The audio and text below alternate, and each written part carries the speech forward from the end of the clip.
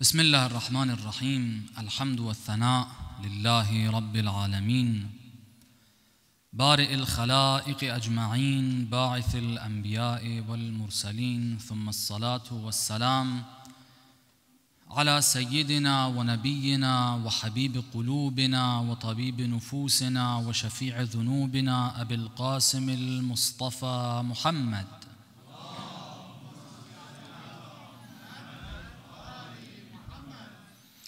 وعلى أهل بيته الطيبين الطاهرين المعصومين المكرمين المنتجبين لا سيما بقية الله في الارضين روحي وأرواح العالمين لتراب مقدمه الفداء ولعنة الله على أعدائهم أجمعين إلى قيام يوم الدين For the hastening and the return of our Imam, please recite the salawat.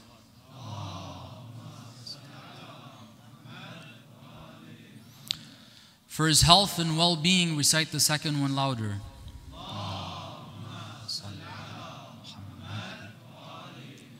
Inshallah, each and every one of us becomes a true companion and soldier of our beloved Imam.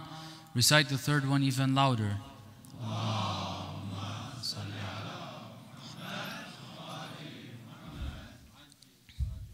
Over the course of these nights, we've tried to discuss something which we feel is very relevant to the season and to each of, and every one of us today. As Shia of Amirul Mu'mineen, Shia of the Ahlul Bayt, we have got to try to explore more the idea of what Shia means.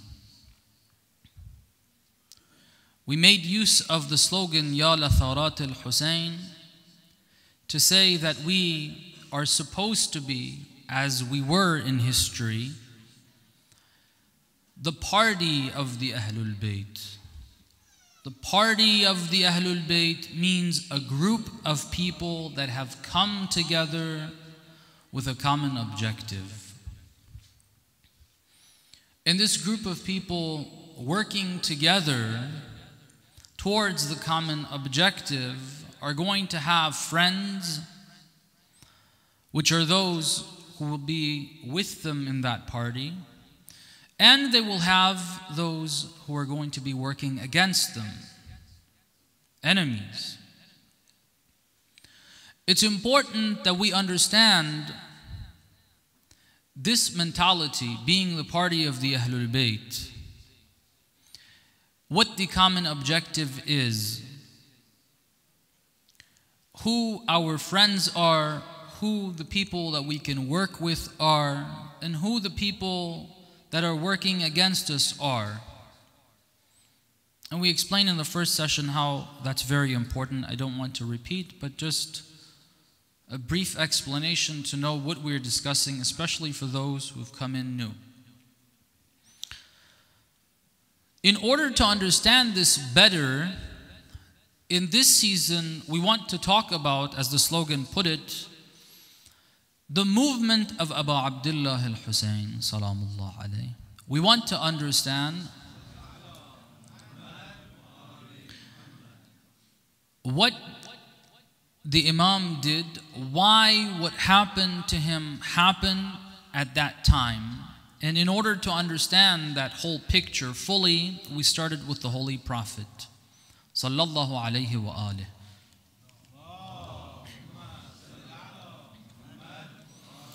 We carried on over to Amirul Mu'mineen. We're following the sequence of events. We talked about Amirul Mu'mineen and we said that we can divide the history of this beloved Imam into three major categories. One is the first few days or months after the demise of the Holy Prophet. The event of the Khilafah, what happened at Saqifa and afterwards. That is a very, very important piece of history. We very briefly went through that which we will continue tonight. And then after that, we're going to be talking about the rest of the 25 years that Amirul Mu'mineen did not have government during the time of the three Khulafa. What did Amirul Mu'mineen do? What happened? How he dealt with the circumstances. And then we have the close to five years of the government of the Imam. The chain of events will help us understand what's going to come after, inshallah. When we talked about Saqifa, we talked about the main enemy that caused what happened in Saqifa to occur. Out of the enemies that the Holy Prophet had, as he has stated, the one that caused the event of Saqifa was the inner enemy that every single one of us has the nafs. Hawa'un nafs. If the soul is not trained, if we don't control the desires, even if we have been with the most sacred and the holiest person on the face of the globe and the holiest creature from beginning of time all the way to the end, we will still God forbid, end up making such a huge mistake that they did at Saqifa. The problem was nafs. People wanted to rule, people liked money, they wanted influence, desires. Others were silent because of desires. We explained that. What we didn't explain is another element which is also important to understand, but I'll explain that in explaining the friends of Amirul Mu'mineen. Who were those that joined Amirul Mu'mineen? There were a few of Bani Hashim, like the uncle of the Holy Prophet, Abbas, and his son Fadl ibn Abbas, and probably others, and also some women, which we know the daughter of the Holy Prophet is on top of the list. But out of the others, the companions that were not related to Amir al Mu'mineen, and that had no role in their decision to join the Imam, who joined the Imam? There are only a few people, and the sincere ones, we can say, according to some ahadith, as I said, there were more than this, all right? But according to some hadith, three are mentioned to be the most important friends of Amir al Mu'mineen. One is Salman al Farsi. The other is Miqdad al Aswad. And third is Abu Dhar al Ghifari. These three individuals are those that were with the Imam from there and all the way to the end of their lives, they were with Amirul Mu'mineen. What caused these individuals to be the friends of Amirul Mu'mineen? One of the elements that caused them to be the friends of Amirul Mu'mineen is something we've already talked about. The opposite of hawa'un nafs, which is the purity of the soul and the nafs, the control over the soul and the nafs. Salman al Farsi, Abu Dhar al Ghifari, Miqdad al Aswad, throughout the history when they were with the Holy Prophet, they were always trying to purify themselves and do as the Holy Prophet said. Always. When we look at the history of the Holy Prophet and we see these three individuals, they stand out out of the non ma'sumin. Obviously, Amirul Mu'mineen, no one can be compared to him. Out of the non ma'sumin, these three individuals stand out. You may have heard this story. They say one day um, the Holy Prophet told his companions that tomorrow morning I'll be going out to a certain location and we will have a session. Those who like to join, come along. Now, it was apparently an early event. Not everybody was really wanting to go. Salman says, he got up to go in that morning that he was supposed to. And when he started on his path going towards where the Holy Prophet had said to everyone he will go to, he saw that there was only one set of footprints. Salman feels very good. He thinks to himself, I'm the first one to join the Holy Prophet.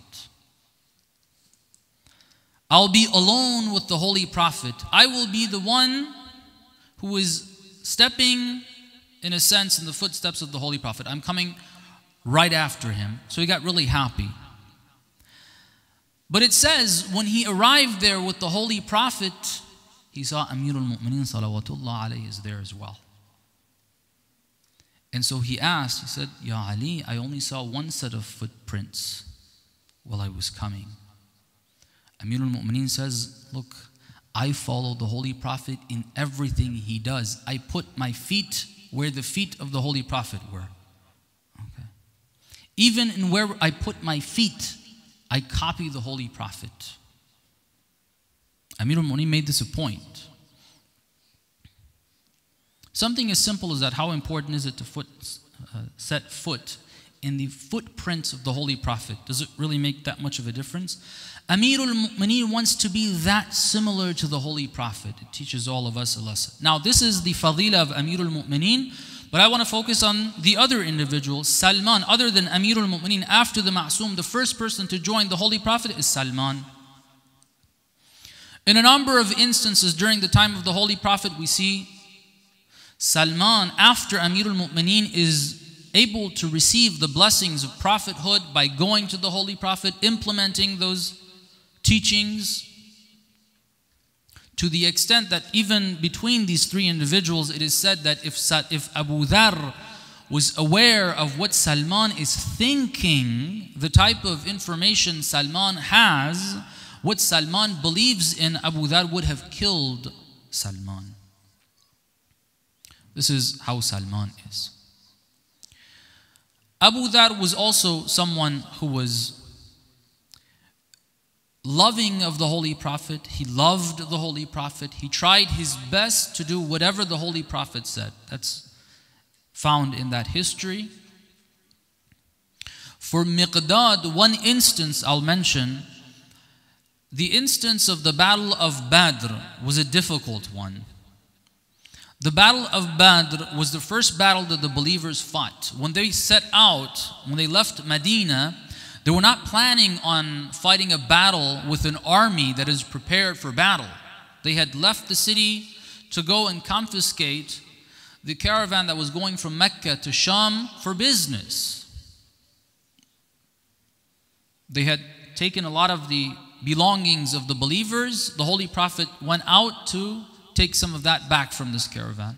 They hadn't gone out to deal with an army prepared to fight. Allah subhanahu wa ta'ala talks about that story in the Holy Quran. He says the believers thought that they're going to get that caravan, but Allah subhanahu wa ta'ala wanted them to fight the army that had come out. So when they were told, the Holy Prophet was told to speak to the people and see if they're willing to fight. When he asked the people if they were willing to fight, out of the muhajirin, because you had the Ansar and you had the Muhajirun. The Ansar, as we mentioned before, they were always with the Holy Prophet. They, in this instance as well, they showed their loyalty when it came their turn to speak. They said, We have pledged allegiance to give whatever we have for you, our lives before your life and therefore we will fight. But out of the muhajirin, some individuals, which will, I will not name, were the first ones to stand up and say, Oh, Prophet, we didn't come out here for this. We're not ready for this. Let's go back to Medina. One after the other, they stood up and said that. Miqdad out of the muhajirin was the one who stood up and said, Oh, Prophet, everything we have is yours, and we're going to fight to the last breath. They had trained themselves. This is one element within them. Amirul Mu'mineen explains to us in a very beautiful statement which is found in both Nahjul Balagha and also in Al Kafi. In the Usul section of Al Kafi, this hadith has been narrated. Amir al Mu'mineen explains to us there are two elements necessary for believers to be able to make it through such a difficult test. One of them is faith, one of them is practice, one of them is training the soul. But the other one is awareness. The other one is understanding, understanding the deen, understanding Islam, and understanding the context which we are in. This is very important. Let me explain it in the context that we're trying to discuss. As we mentioned, the people who set up Saqifa are actually the Ansar. Put that into perspective. The Ansar, which we just mentioned, were so loyal to the Holy Prophet, they set up Saqifa. They said, we need to appoint our own ruler. After that, the first two Khalifas, along with Abu Ubaidah, came over, and you know what happened? They pledged allegiance with Abu Bakr. Otherwise, initially, the Ansar set up Saqifa. And later on, we do have traditions on this, we do have narrations on this, we do have historic accounts of this the Ansar regretted this decision of theirs to set up Saqifa like no other decision. They regretted it shortly after. Now we can see the other element in the enemies or the problem. What created the problem for Amir al Mu'mineen was this lack of understanding. The friends of Amir al Mu'mineen had two elements there were tazkiyatun nafs, the purity of the soul, training the nafs, avoiding sin, purifying the soul, going against desires, and knowledge, understanding. Properly understanding the matter. The ones who created the problem had lacking in both of those areas. One was the purity of the soul, the other one was not understanding fully what is going on. The problem that the Ansar had, yes, they were a little weak on the faith side, they had some weaknesses, but they were not great sinners. Some of the others, maybe who were involved with this, were not constant sinners. They suffered from the second element there. And that is the Holy Prophet sallallahu alaihi wasallam.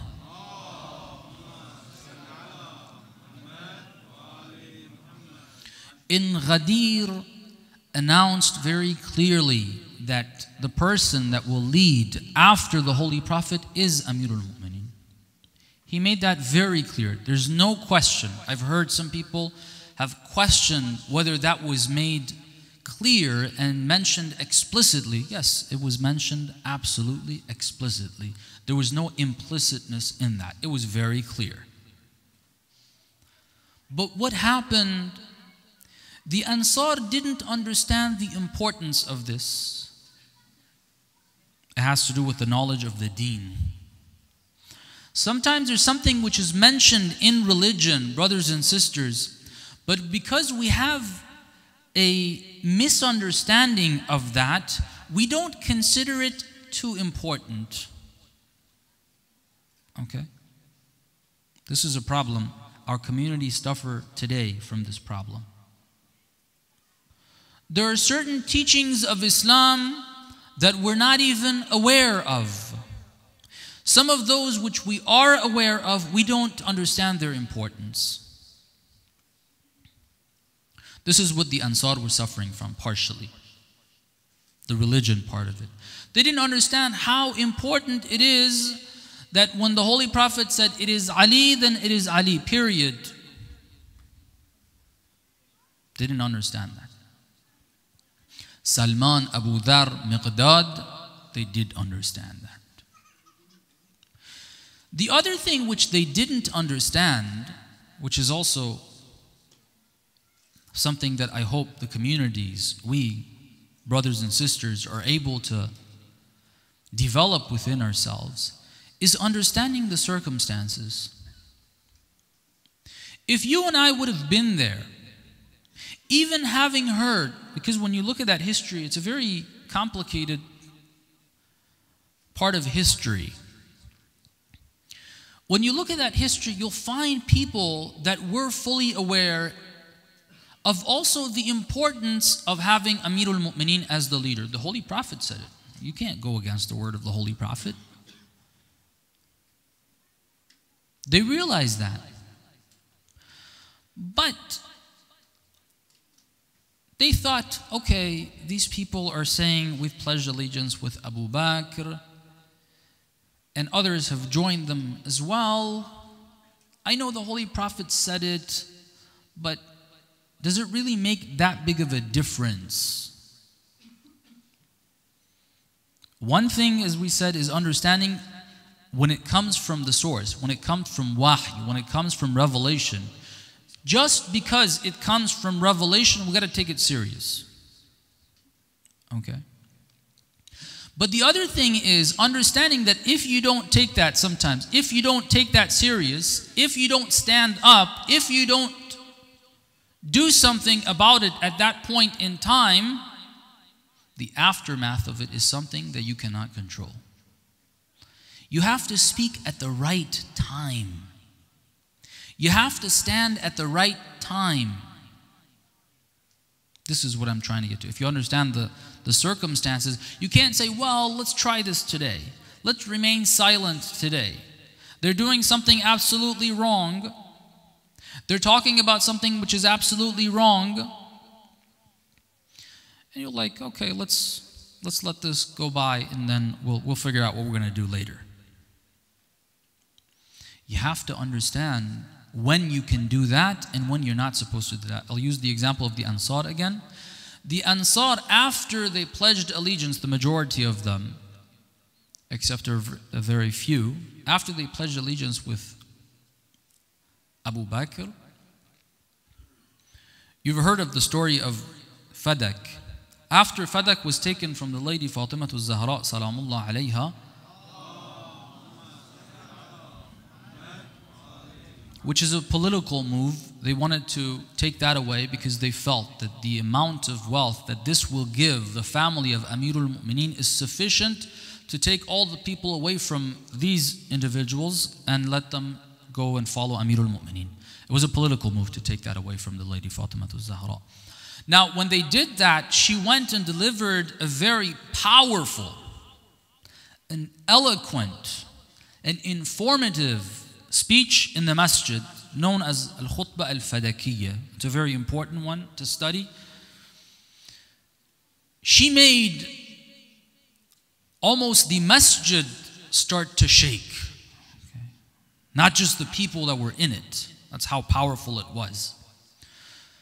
And he she addressed the Ansar and the Muhajirin after that session, the Ansar went to the lady Fatima Zahra and said, First, at that point, they said to her, If Ali would have stood up, we would have all supported him. But what can we do? We've already pledged allegiance here. They said that there. Then time started going by, and then they started realizing how terrible what they did was. They started gathering together and thinking of what their mistake was and what to do and what not to do. It's a long story. What they realize in the end is that it's too late. It's too late. Brothers and sisters, we have to know what's going on in the world. As I said, we need to understand Islam, number one. Understand what are the most important things, what takes priority. Sometimes we miss out on these priorities, brothers and sisters, in Islam. La'an, for example, is something which is found in our dua. It is found in the Holy Quran. There's no question about it. However, the way you are going to say it, the context you are going to be doing it in, is misunderstood. Sometimes we give this preference over what Amirul Mu'mineen gave preference to the unity of the Ummah. The unity of the Ummah, which one? Okay, is, is there even such a thing called unity of the Ummah? Some people even have a question on that. Is there such a thing? Some people bash that idea altogether. What is the unity? How can you sit on a table that someone who is not willing to accept that Yazid is a sinner, Yazid is a taghut, they're not willing to accept that, then how can we sit on the same table?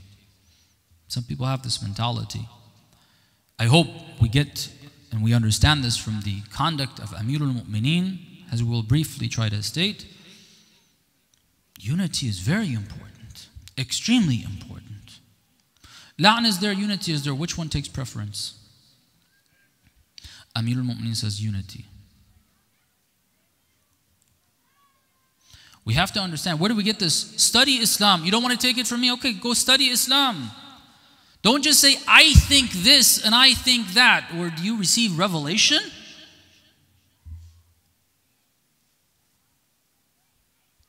If we didn't need revelation, then why are we reading the Quran? Why do we refer to the Ahlul Bayt? We need to go to them. They need to tell us.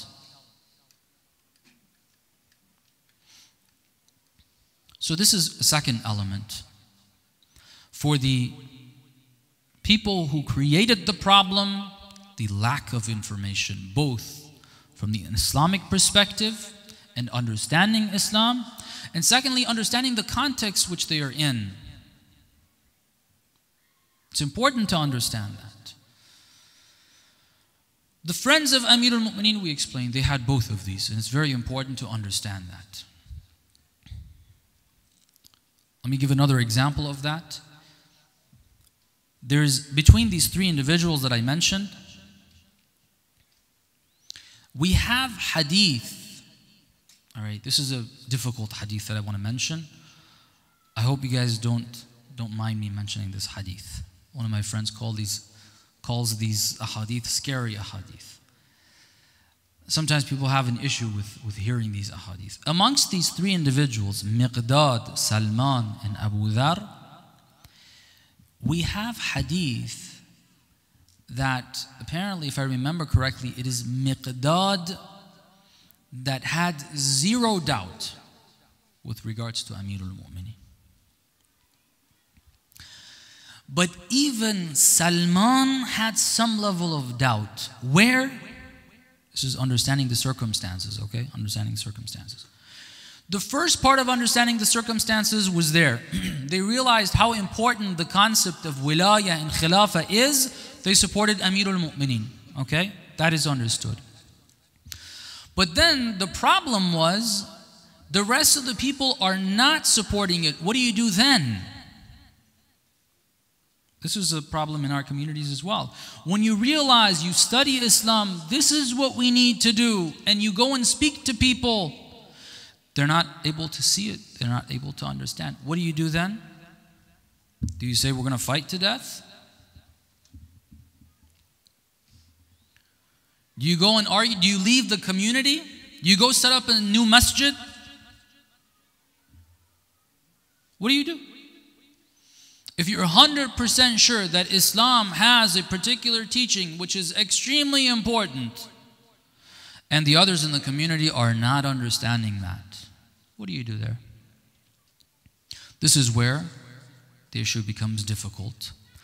It says Salman had doubt in Amirul Mu'mineen when Amirul Mu'mineen, according to his own words, which I will read, said that he's not going to take a stance against this.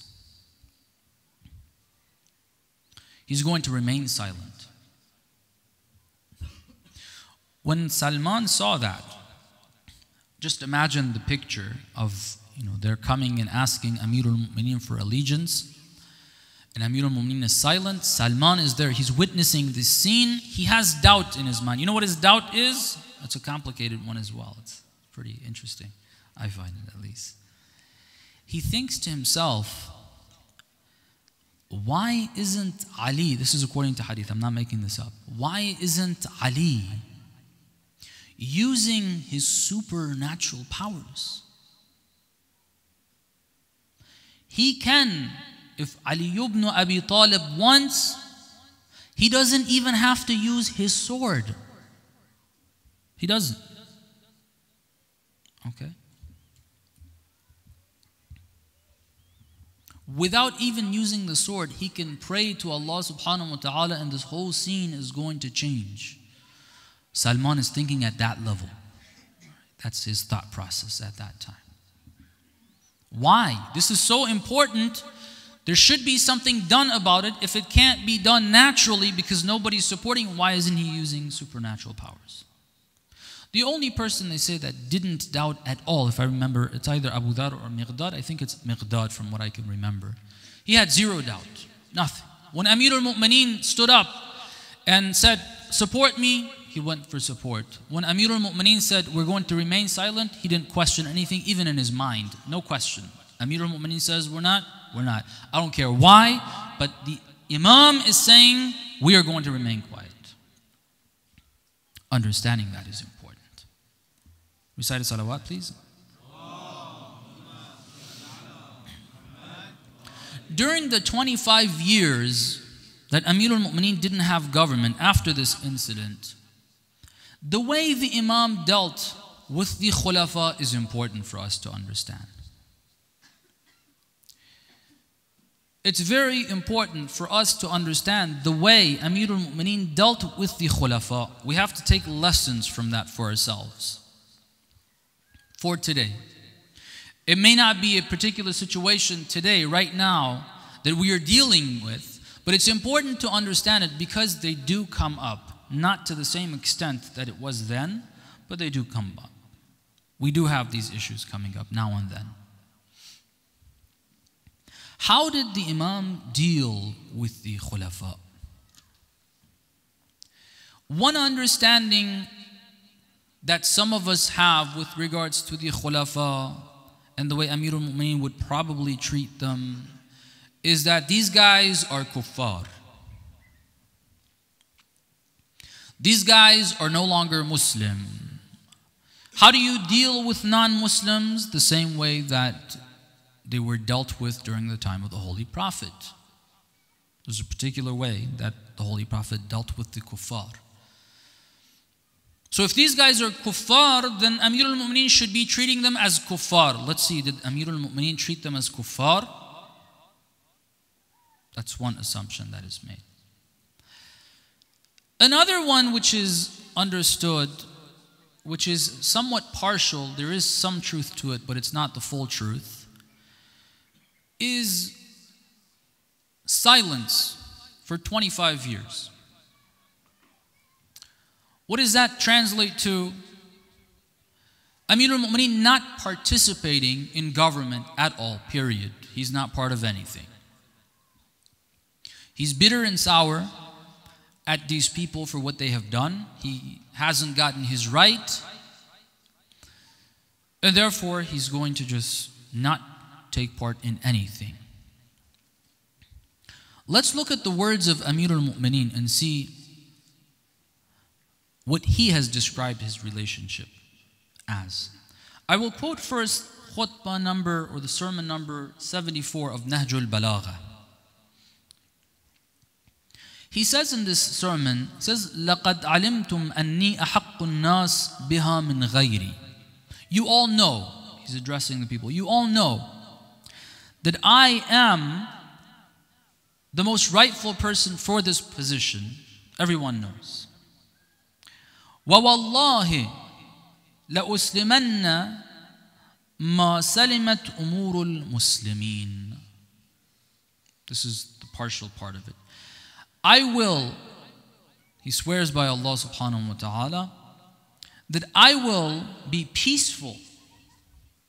I will not take to my sword ما سلمت أمور المسلمين as long as the affairs of the Muslims is progressing and they are not touched. In other words, I am worried about the believers. I am worried about Muslimin. I'm not worried about myself, which is very important. We'll get to this a little further. ولم يكن فيها جور إلا علي خاصة and there's only oppression against me. If it's only against me, I will remain silent. This is one thing. However, this is not the only thing that is mentioned. We have another piece from the Imam, which is not a sermon, it is a letter. We find it in two sources. One of them is Nahjul Balagha, it is letter number 64. It is also found uh, the more extended version of it, the full version of it, in a book called Al Gharat, volume 1, page 204, in one of the prints. There's a number of prints. The print that I was looking at, it's page 204 of volume 1. Amir al Mu'mineen says something which is very important for us to understand. i have just selected a passage. He says, فَأَمْسَكْتُ يَدِي I didn't do anything. Initially, when Saqifa occurred, they pledged allegiance with Abu Bakr. The Imam remained completely silent. He didn't have to do, he, he had nothing to do with anything. He just didn't participate. He was at home. That's the partial part, but it's only for a short period of time. He says, حتى رأيت راجعة الناس قد رجعت until I saw those of the people who started turning away. What happened after the Holy Prophet Was that a number of people, even during the time of the Holy Prophet, let me mention this, there were a few individuals that started to claim that they're prophets. A few of them. During the time of the Holy Prophet, two or three. And you had some of the Muslims that started following these false prophets. The Holy Prophet dealt with them. It didn't end at that time. When the Holy Prophet passed away, more of that started occurring for various reasons. There was another individual who claimed prophethood. Then also, there were some who realized okay, we became Muslim because the Holy Prophet was there, because the Holy Prophet fought us. Now that he's gone, we're going to go back to our old ways. You had this problem apostasy a number of people, tribes, started to leave Islam and it became very, very unstable. So you have, let's again see the full picture. You have empires that are hearing that there's a power created in this part of the world and they're feeling threatened because the Holy Prophet fought even the Romans up north. He sent letters to all the emperors so they're worried about this new power that is emerging in the region.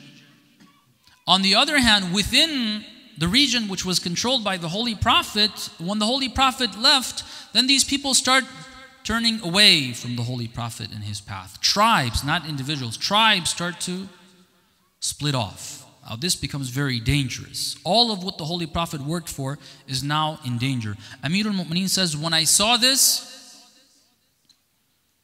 I couldn't remain silent anymore. I went, he says this, and I joined and I helped where the decisions which were made were correct decisions made, I participated with them. This is important to understand. I'll just mention one example today that we don't do this, brothers and sisters. Sometimes when again, I'll use that example of, of division because division is a huge problem in our communities. Every now and then, you have offshoots, communities split for wrong reasons. And beyond splitting, the masajid that we have, these centers that we have, we're not able to come together and work together, be that party of Amirul Mu'mineen. We have a lot of shayateen. But other than the shayateen, the problem that probably exists within myself as well, and I hope Allah subhanahu wa ta'ala helps me relieve myself of this, or He relieves me of this problem, is that I see myself as haqq. I see what I do as right. And I see what others do as wrong. A lot of times this is actually wrong, right? A lot of times. A lot of times I'm not 100% right, they're not 100% wrong. It's somewhat I'm maybe maybe I'm correct to a certain extent and they probably have something right about what they're saying as well. But let's assume let's assume somehow I know for a fact I am 100% right and the other people are 100% wrong. Amir al-Mu'mineen teaches us that for this, if you're working for the sake of the ummah, it's not for you. It's not that I want to be this. It's not that I want to be that. Even if I'm 100% right, I'm going to have to work with others that don't understand what I am saying. For the sake of the ummah.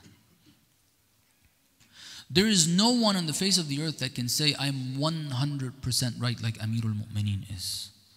As the Holy Prophet said, Aliyun ma'al haq wal haqqum ma'a Ali. Yaduru haythu dar. Haq is wherever Ali is. Ever wonder where haq is, where the truth is, where the right is? You got to follow Ali. Ali, who is the one who draws the line between right and wrong, because it's not about him, it's not about nafs, it's about the ummah, he's able to work with people who have clearly, for the wrong reasons, taken his right. He's able to work with them. We can't do that. We got to learn this lesson from Amir al Mu'mineen. He says, At this point, I joined, I helped out. So, how did Amir al Mu'mineen deal with them? Are they deal, dealt with as kuffar? No, they're not dealt with as kuffar. They're dealt with as believers that are weak, and he joined them wherever their decisions were right. Now, let's go over the 25 years and see the problems and the enemies of Amir al Mu'mineen after the point of Saqifa. We talked about this, uh, the khulafa themselves to a certain extent. I will call them, and the problem with the khulafa and the people who support them, the problem of hawa'un nafs. We mentioned this the other night as well. The problem of hawa'un nafs. The enemy of the self within, which is within all believers. But there's another enemy during this time that we cannot neglect. And this is important to see the trend and see how the chain of events leads to Karbala. We don't only have the problem of Hawa'un Nafs during the time, we have another problem as well. What is the other problem? The other problem is the seed of nifaq in hypocrisy that was spoken of during the time of the Holy Prophet is continuing over the course of the 25 years. Which nifaq? Remember, the nifaq of the kuffar, the a'immatul kufr, Abu Sufyan, and the Umayyads. The Umayyads had accepted Islam based on force. They were somewhat forced into that. They saw no choice for themselves. That's why they accepted Islam. During the time of the Khulafa, the problem of nifaq becomes a more serious problem, that same nifaq that was there. How did they work? We mentioned that during the time of the Holy Prophet, these individuals, these people, were pretty silent. They just worked with whatever the Holy Prophet gave them. They acted like there's no problem. They didn't give the Holy Prophet any other problems. After the Holy Prophet, as we mentioned, they weren't part of the event of Saqifa. They didn't cause Saqif to, to occur. They weren't the reason why the people pledged allegiance with Abu Bakr. They weren't at least the main reason. They were pretty, pretty peaceful. But what happened, the problem was, they were hiding their identity of kufr. Recite a salawat for the ulama of Muslimin.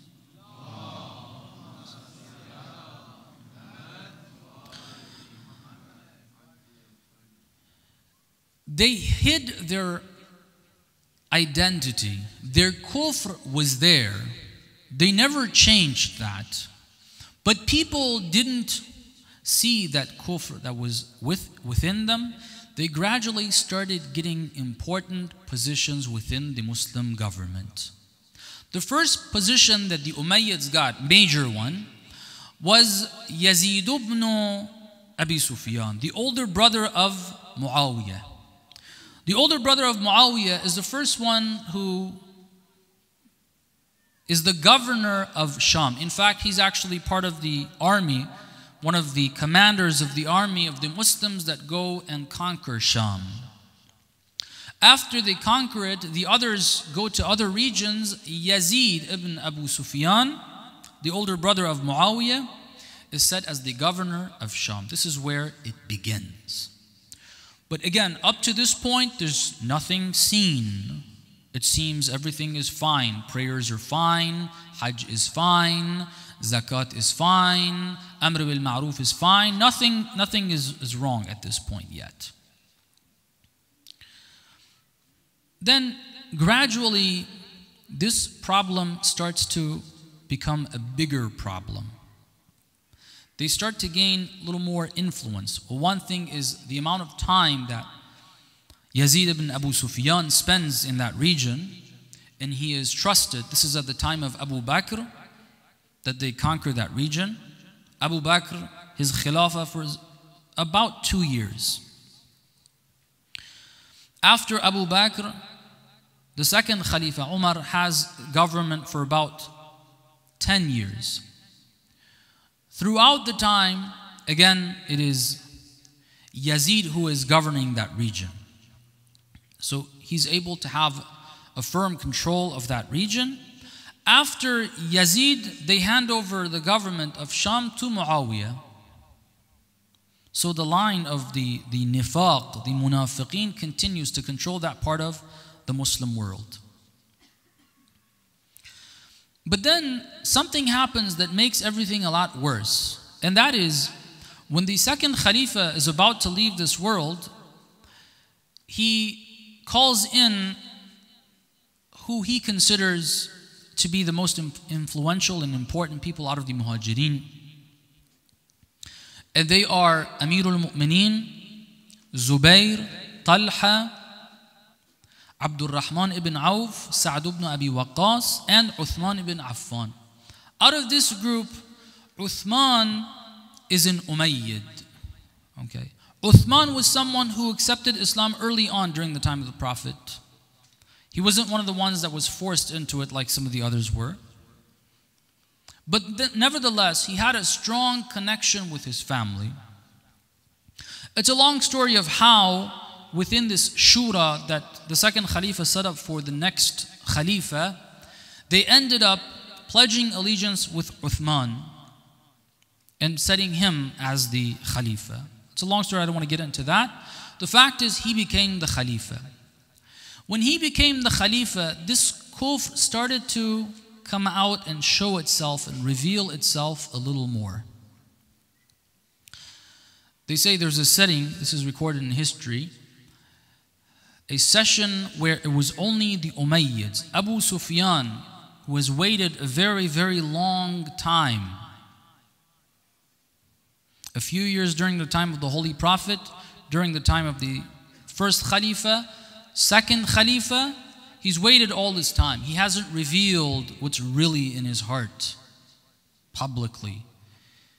He's blind now in the meeting, he asked, Was there anyone other than the Umayyads sitting? And they say, No. He said, I swear by the one that Abu Sufyan swears by. It doesn't say I swear by God. I swear by the one that Abu Sufyan swears by. There is no resurrection, there is no hereafter. All of that is, in my words, trying to explain what he meant. All of that is baloney. There's no truth to it. He says, play around with this. It's like a ball. Kick it around amongst yourselves. Okay? This authority is something that you guys are going to be passing on to one another. Don't allow it to go to the other team. You know, when you're playing football, you want to make sure you have control over the ball. Okay. Abu Sufyan uses the same terminology then. He says, make sure you keep control of this ball. It's a game. It's about power. Now they say in history, they say Uthman gets upset and tells him to get up and leave. But anyone who reads that, even in history, those who come to know about this, like, wait a second, if I would have heard that, instead of just telling him to leave, something more than that should have happened. Some have said, I don't know why he allowed him to live after that. But anyway, this is again the beginning of it. What Uthman does, he starts to gather the Umayyads and give them key positions. One of the first things he does is Hakam, who is an Umayyad, that the Holy Prophet had sent to exile to Ta'if because he made even after he became Muslim. He was forced into accepting Islam upon the conquest of Mecca. But even after he supposedly became Muslim, he still didn't give up his kufr. He would mock the Holy Prophet. He would say wrong things. The Holy Prophet cursed him once he was mocking the Holy Prophet, and his face remained in the shape that he was mocking the Holy Prophet for the rest of his life. And then he exiled him, sent him to exile him to Ta'if. He said, I don't want to see this guy anymore. As soon as Uthman came to power, he called him back into Medina. The son of Hakam, Marwan, who becomes later on one of the dirtiest khulafa, or if we even can call them at that point khulafa, they become kings and monarchs. He gives them a lot, he gives them key positions. All of the Umayyads Kufa is given to an Umayyad. Muawiyah is already taking care of Sham. Egypt is given to one of the Umayyads as well. And beyond just giving key positions, then they start revealing themselves more and more and more. Their practices, they start bringing Christians and Jews and non Muslims close to themselves. They don't really believe in Islam. They start drinking, sometimes even to an extent publicly. They start distributing wealth unjustly. Power is distributed unjustly against the will of the Holy Prophet. So you see this kufr, this line of nifaq and kufr, which is, as I said, there's two definitions of nifaq. One of them is weakness in faith. We don't want to deal with that. The more difficult one to deal with is real kufr that is portrayed as Islam. Those are the real dangerous guys. During this time, this line of nifaq strengthens. They start gaining power. They start controlling key positions within the Islamic empire. This is very dangerous. The other thing that happens the enemies, again, looking at the enemies during this time, that first enemy that we talked about, Hawa'un Nafs, that starts becoming a stronger enemy as well. How is that? The Holy Prophet sallallahu alaihi wasallam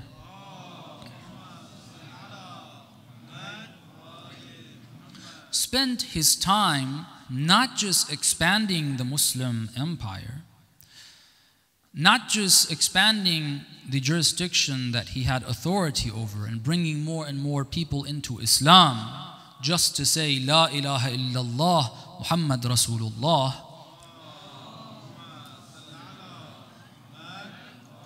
He also worked a lot to try to train these individuals to become strong believers, real believers, people who believe in the hereafter, people who would give up everything in this world for the hereafter. This is the verses of the Holy Quran always tell us there's a constant repetition. You know, they say out of the aqa'id that we have, out of the beliefs that we have, the one which is repeated most in the verses of the Holy Quran is ma'ad, judgment, the hereafter. You know why? Because that is what motivates people to do the right thing and avoid wrong. If you stop remembering that, if you start forgetting that, even if you believe in God, it's not too important to commit sins anymore, to do what's wrong. Because you're not afraid of this God that you believe in. You need to have that fear. The Holy Prophet tried very hard. Amir al-Mu'mineen in one of the khutbahs in Nahj al-Balagha, when he wants to describe the believers during the time of the Holy Prophet, after he becomes, becomes the Khalifa for the five years, it says in Masjid of Kufa, after the Fajr prayer, Amir al-Mu'mineen turns around and starts addressing the people. He starts addressing them and describing to them believers. He said, during the time of the Prophet, there were believers that would stand up in prayer in the middle of the night when everyone else is asleep. And they would stand in prayer so long that they were, their feet would get tired. You know, when you're standing, if you stand for too long, if you get tired and you can't sit, you start leaning on one. And then when that one gets tired, you start leaning on the other one. And you go back and forth. Amir al Mu'mineen says this is how they were. This is how long. They would recite long surahs in their night prayers, long du'as. The verses of the Holy Quran tell us, Ya ayyuhal muzammil qum al-layl illa qalila. I wish I would be practicing this. Keep the night awake, most of it. Sleep only a little amount of it. These are the verses of the Holy Quran. They would do that. They would spend a long time in their night prayers, in their qiyam, their standing, in their ruku', in their sujood. He describes that. And he says, These people, with all that worship that they did, when they would wake up in the middle of the night, they would shiver out of the fear of Allah subhanahu wa ta'ala.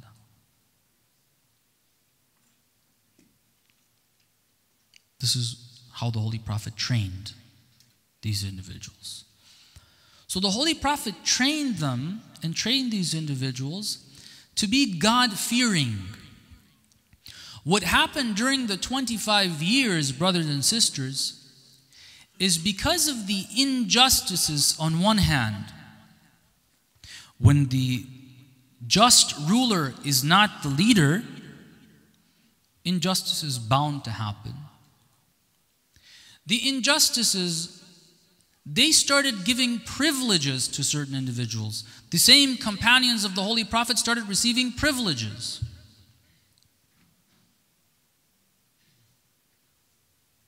they started getting more of the khiraj. Now, when you start getting more, when you start receiving privileges, and this is something for you and I, brothers and sisters, when they unjustly take a privilege away, we're all over the place. Shouting our lungs out. But when they give us a privilege unjustly, we don't mind it. Okay. That's a problem. This is what happened. They started liking it. They first started distinguishing between Arab and non Arab, second Khalifa. They gave Arabs more. If they were Quraysh, a more well known Arab tribe, they would receive more as compared to the non Arabs. During the time of the Uthman, it got even worse. And some of the companions of the Holy Prophet got filthy, filthy rich. Now, their motives, their intentions start moving away from being the hereafter. Now they're more worried about this dunya. Hawa'un nafs. When the nafs starts receiving what it desires more and more and more, then the desires of the human being start taking control.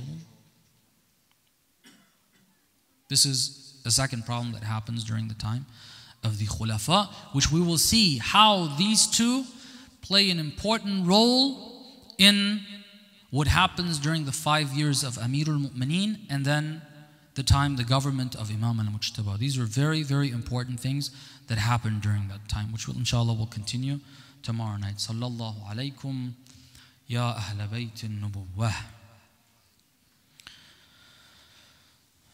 صلى الله عليكم يا أهل بيت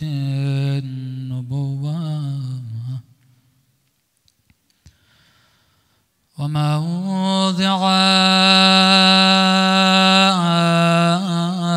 الرسالة ومختلف الملائكة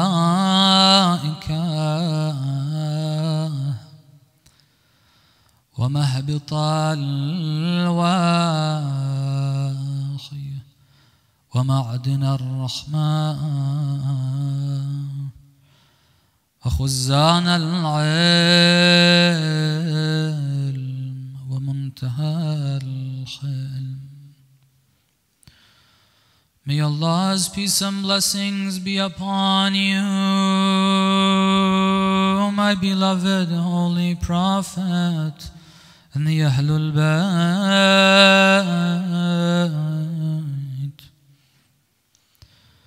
May Allah's peace and blessings be upon you.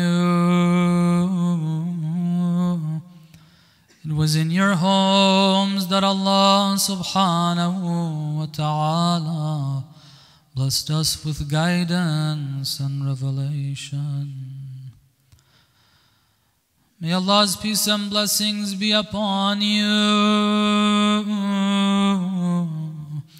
Upon you descend angels day in and day out,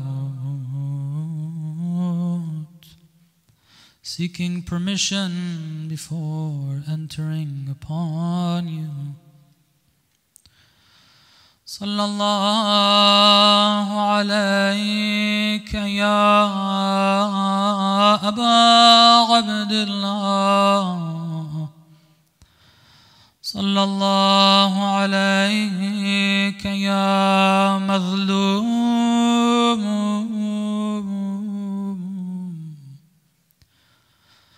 صلى الله عليك. أيها الشهيد بكربلاء عطشانا.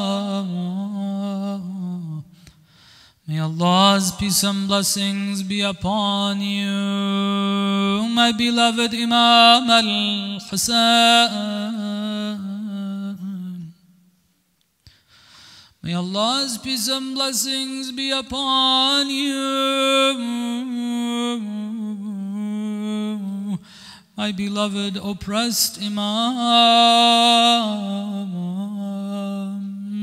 the Imam that was slaughtered by the shores of the Euphrates, while his mouth was dry of thirst.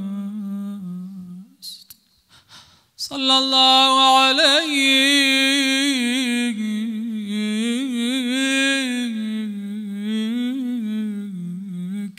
Ya Madlum, Ya Aba Abdullah. It is not a custom to remember the lady Zainab during the first 10 nights of Muharram, but we've received a request to remember Aqilatu Bani Hashim.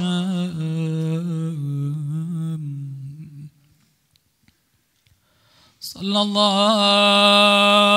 alayhi يا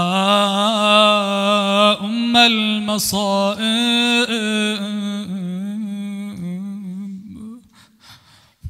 May Allah's peace and blessings be upon you, O mother of all calamities. Do you want to know why the lady Zainab is referred to as Ummul Masa'ib?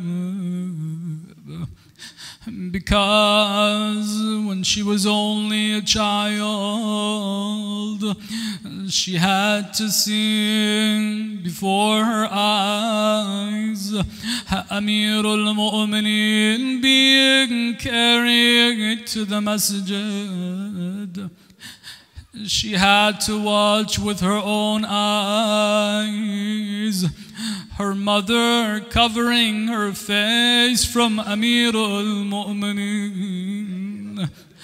She had to witness Amirul Mu'mineen washing the body of the lady Fatima to Zahra in the middle of the ghusl, standing against the wall, crying loudly, Fatima, you did not tell me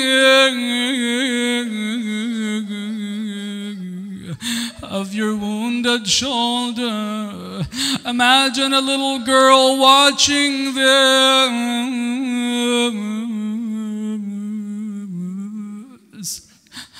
Imagine her missing her mother. Because the lady Zainab in Kufa later on, years later, she's at home. Amirul Mu'mineen is carried home from the masjid. I don't want to picture too much how Amir Amirul Mu'mineen is looking like. All I can say is that they have reported that he was not able to walk himself. They carried him. They say Amir Amirul Mu'mineen, when he got close to home, he told his companions, I want you to put me down and help me walk. They said, Ya Ali, why is that? He said, I don't want Zainab to see me in this state. Imagine Zainab in the room watching her father fainting every now and then. The reason is back in Medina. One day they came to Zainab and said, You better hurry. Your brother Imam al Hassan has called upon you. They say, When she entered the room, the lady Zainab is watching Imam al Mujtaba coughing up blood due to the poison that he's given. But I tell you, brothers and sisters, all of that is not even comparable to what she saw in Karbala. صلى الله عليك يا قيلة بني هاشم Was it sufficient in Karbala that she heard the call of Ali al-Akbar when he announced يا أبتا هذا جدي يقرئك السلام They say when Ali al-Akbar called his father at this point Zainab ran to join Imam al-Husayn she witnessed the body of Ali ibn al-Husayn Was it sufficient to know that Qasim has gone to the battlefield? Was it sufficient to see Abdullah ibn al-Hasan went to the battlefield? None of this is comparable to the moment that she heard the sound of the horse of Imam al Hussein. She came out hoping to see her brother, but she saw the Janah without a rider. She started at calling Wa Muhammadah Wa Aliyah. Have I lost my brother yet? She ran to find some elevation to see what is happening. She found what is called today Tallu Zainabiyya. When she went above it, all she had to do was look in that direction to see what Shimru Jalisun sadru. Imagine Zainab seeing that.